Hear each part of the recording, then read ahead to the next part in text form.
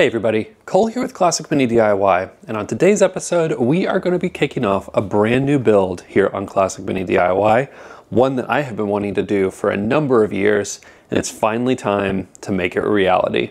So you won't want to miss it. Stay tuned for that.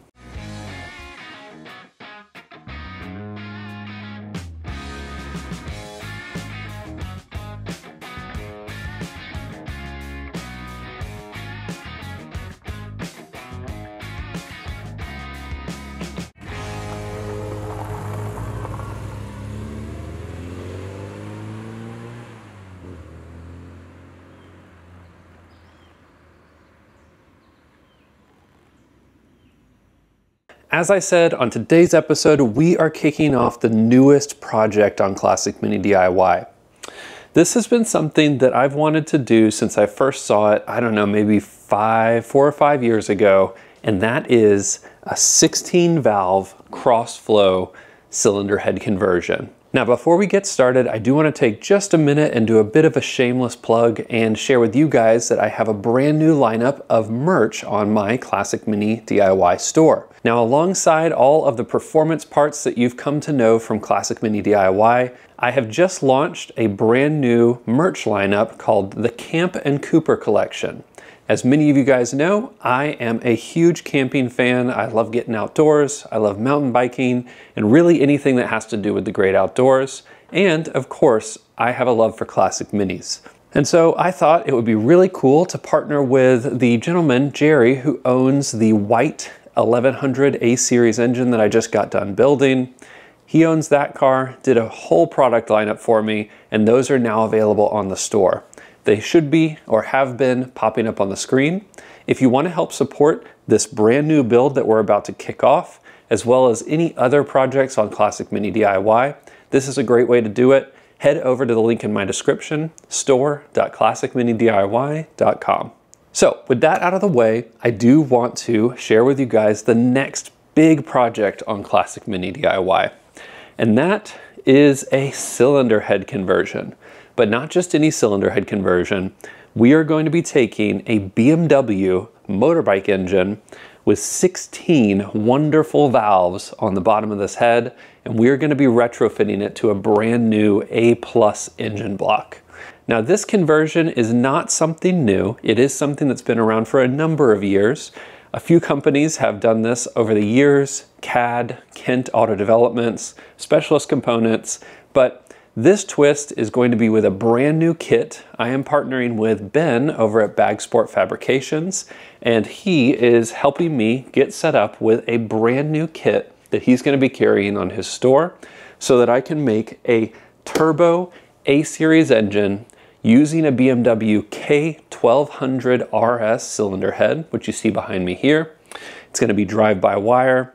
Like I said, it's going to be turbocharged and it is going to be a blast of an engine to drive. Now in today's episode, I want to show you guys a few things, namely the cylinder head, a few 3D prints of the parts that we're going to be using once they get CNC'd and made up, and we're going to do a few modifications to the head to get started. Now jump over here to the bench and I'm going to show you guys just what makes the cylinder head so special and why people have been slapping these on A-series engines for the last decade. All right, the Crossflow BMW motorbike head. As you guys can see, it looks a little bit different than an A-Series 5-port head would, in that it has holes on the back here, as well as holes on the front. Now the idea here is that this is a fully cross-flow cylinder head, meaning air goes in one side and out the other side. Just by the virtue of this being a cross-flow head, and it having 16 valves allowing air in and out of its cylinders, it flows almost 40 to 50% better than a stock five port head would. And that is considerable because the more air you can get into your cylinders, the more fuel you can mix with that, the more combustion you can get out of that, and thus more power.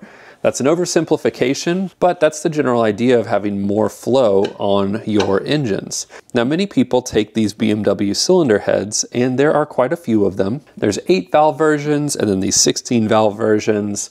They come with different cams. There's a number of different variations, but these have become extremely popular especially with people who want a really, really high torque and high punch 1275. You can put four carburetors on the front here. You can do four individual throttle bodies and do a really, really nice fuel injection setup.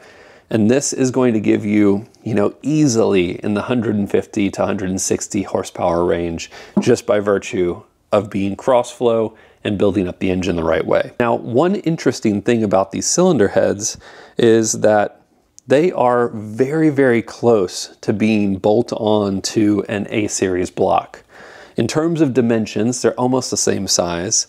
What's crazy is that this cylinder head, even with both cams in it, and as you can see, a much larger footprint, easily weighs half what the five port steel head does, which is really cool by itself. But there are a number of supporting mods that you have to do in order to put this on an A-series block. And we'll get into those once we get into this project. Now, before we take the top off here, I wanna show you guys the bottom. This is the piece that is so special. You can see here, each chamber has four valves. That's two intake, two exhaust, and they are staggered which means that they are interference style valves. So there is some you know, consideration when you get into the pistons. But these chambers, surprisingly, line up almost perfectly to an A-series block. The stud pattern, though, is slightly different. So I'm gonna flip this back over. And now let's take the top off and I wanna show you guys the absolute beauty that is a dual overhead cam cylinder head. All right, so now we're looking at what makes the cylinder head so special. And that is two individual cams controlling the intake side and the exhaust side, meaning you have fine-tooth direct control of individual valves on each part of the engine stroke. Now, one other thing that you might notice or you might have not noticed is where the spark plugs are. Those sit right down in the center of this cylinder head, which makes them really easy to service, but you can also conceal them and make it really clean and tidy.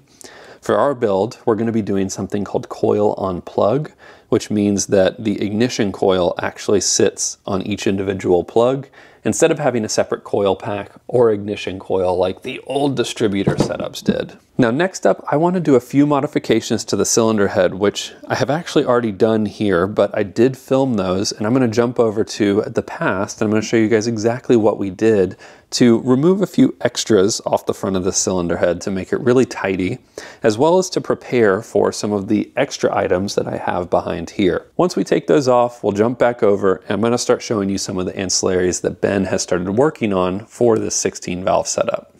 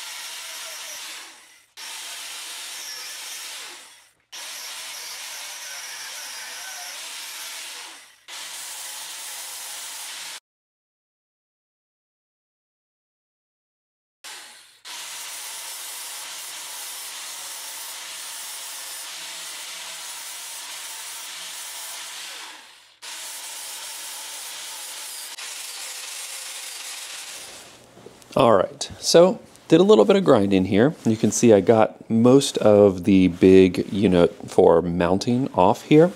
Um, in this kit that is coming from Bagsport, you don't actually need any of the mounts that are on the front here. So I went ahead and shaved down the uh, injector rail mounts. There was a small stub mount right here, and then just continued to file this down. Now, you want to be extra careful if you're doing this on your head because the pocket right here, it is kind of easy to blow through that. And I do think there's still more material I can take off. Um, however, I didn't want to do this with a big angle grinder. I don't currently have a Dremel head that's going to be good for this, but I'm going to come back through, um, probably not in a video, but I'll come back through and trim this down, trim down the edges, clean up this a little bit, and really just make things look a little bit more finished. I am kind of tempted to take off this uh, stamping here. I don't think there's any real value of keeping that on there either. Um, but uh, thought it turned out pretty all right for the initial pass on it, the rough draft, if you will. Um, I only had one tiny little nick um, where my flap disc jumped while I was working over here and I hit this inlet manifold. And I think it's still gonna seal okay, but that'll remain to be seen. Um, definitely gonna have to test that. And if it doesn't work out, um, either we'll add a little bit of material with a TIG welder or um, you know some maybe a bigger gasket will allow me to seal that properly. So a little whoopsie there, but that's all right. All right, so I went ahead and whizzed the tops off of the cam retainers here and we pull this camshaft out and you can see what I'm talking about and why this is so special. The camshaft actually rests directly on the uh, top hats are these little covers for your valves. So in a traditional Classic Mini, you have a set of rockers that would sit across the top of the cylinder head, and you have actual push rods that are pushing up and down and moving that rocker back and forth and opening and closing the valve. This is what's called a pushrod engine, and it works just fine. You know, there's nothing too wild and crazy about it, and it's a pretty traditional way to run an older engine. Now, a number of modern engines, most in fact, put their camshafts on top of the cylinder head, and this allows the lobes of the camshaft to rest directly on or interface directly with the tops of the valves. So you have no mechanical difference between the camshaft that sits in the engine and what's happening on the top end of your cylinder head. So if we take one of these off, you can see this looks mysteriously like one of the cup retainers that would sit on a camshaft um, with the push rod in top if you are familiar with the A-series setup. But let's get a closer look at this here. And now you can actually see here, this is the top of the valve, that is the valve stem, and then you have your spring and the retainer all built right inside there. And so each of these covers covers a valve with the retainer and the spring all integrated into one piece. Now this is what makes this whole setup so special. And with the ability to have two camshafts, it means that you have independent control over your exhaust and your intake valves, which is how you can get such a immense amount of flow and performance out of these cylinder heads in just their stock configuration. It's what makes them so special. All right, with that out of the way, I'm gonna go through and clean these covers. I'm gonna put the cams back in for right now so that they don't get damaged.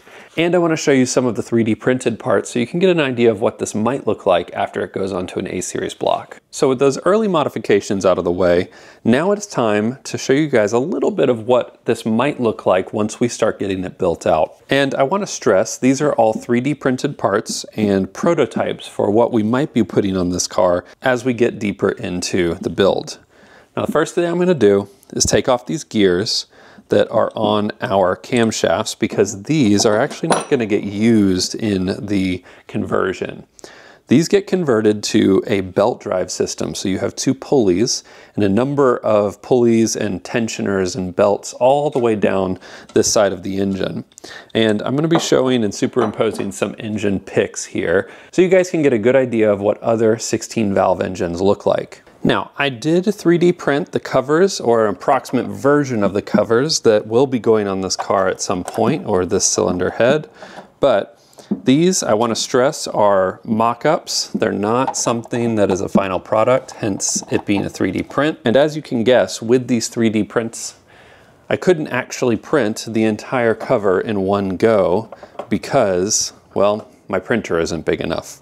So That'll be a future uh, upgrade at some point. All right, so this is where things kind of start to get pretty cool. Now this is a custom cover that's gonna be CNC'd by Ben over at Bagsport. And one of the reasons he does this is so that the cylinder head can fit under your standard classic mini hood or bonnet. The original setup or the original cylinder head cover is much taller And so this is a much lower profile version. This one is the one without the coil on plug brackets. So as you can see down there, direct access to the spark plugs. But for the kit that does support coil on plug, there would be retainers right down this middle bit here so that the plugs can get retained and held in place much easier. So now we're looking at what will ultimately become the front side of the engine. This is the side that is going to face the radiator in the Classic Mini, and this is where it'll interface with the water pump pulley, um, the crank pulley, and the camshaft pulley. This right here is a little sampling of the plate that would get used in order to accommodate all of those new tensioners and pulleys. Pretty cool little setup here. This is definitely a work in progress. But then we're also presented with a water pump blank because in this setup, or most people who do these 16 valve setups, the water pump actually gets deleted and gets converted to an electric water pump, which then also means an electric fan is introduced instead of the mechanical one. But there are little stub connections here to allow you to orient your water pump blank whatever direction you want it to be. But the cool thing here is, as I said before, we took the two gears off of the camshafts, and that's because they're gonna get pulleys. So this gets enclosed, which means this is an oil-tight cover, and then you have two pulleys right here that will have a belt drive moving all the way around here. And right down here, you would have an oil drain. Now, there is a lot of machine work to both the cylinder head and the block that has to take place in order for both of these to work, but that's a little sampling of what it might look like. So I do suspect that this has introduced a number of questions about what I'm gonna be using this engine for, what I'm gonna be using the cylinder head for, will it go in Bad Wolf, what is the plan? And in truth, right now, I don't have much of a big plan for it. I've always wanted to build one of these engines, and it's just something that is finally presented itself as an opportunity for me to do. So this will be a totally standalone build on the channel. I'm gonna build up this engine, I'm gonna set it all up, I'm gonna get the plenum made from Bagsport, I'm going to build out the entire bottom end myself with some custom pistons from Ben as well build out the gearbox, and then once it's all finished and put together, then we can kind of decide what it's going to be used for, whether it actually goes in Bad Wolf or something else.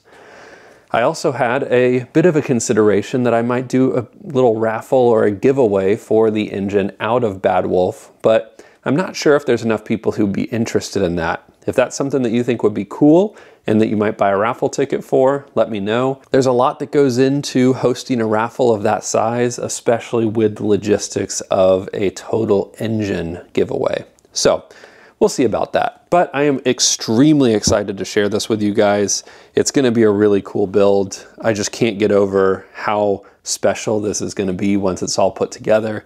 It's gonna run amazingly well. It's gonna be able to get perfect fueling across all four cylinders. We're gonna be able to pump it full of a lot of boost and we're not gonna have too many issues, hopefully.